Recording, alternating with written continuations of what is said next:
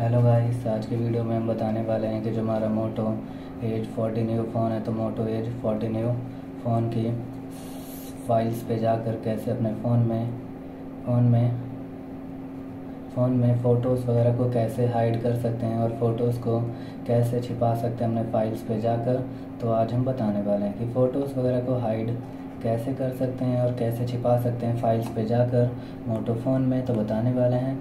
तो video start करने से पहले हमारे चैनल को लाइक करें, सब्सक्राइब करें, साथ में ही बेल आइकन दबाना ना भूलें तो वीडियो स्टार्ट कर लेते हैं तो आपको स्वाइप करना है। और स्वाइप करते ही अपने फ़ोन में फ़ोटोज़ वगैरह को आप हाइड कर सकते हैं और छिपा सकते हैं अपने फाइल्स पे जाकर। जो भी फ़ोटोज़ को आप छिपाना चाहते हैं, हाइड करना चाहते हैं, आप कर पाएँगे। सिंपली फ़ाइल गैलरी पे चले जाना है।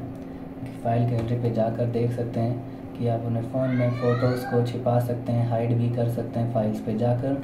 जिसका आप यूज़ कर सकते हैं, देख सकते हैं कि इमेज गैलरी पे चले जाना है।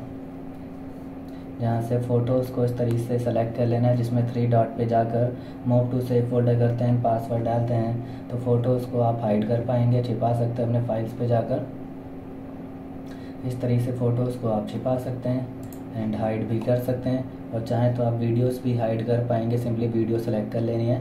थ्री डॉट पे जाकर move to move to save folder कर देना, जिस पे आप पासवर्ड डाल के इस तरीके से वीडियोस को भी हाइड कर सकते हैं और छिपा सकते हैं अपने फाइल्स में। तो इस तरीके से वीडियोस एंड फ़ोटोज़ को भी हाइड कर सकते हैं फ़ाइल ऑप्शंस पे जाकर, जिसका आप यूज़ कर सकते हैं अपने फ़ोन में।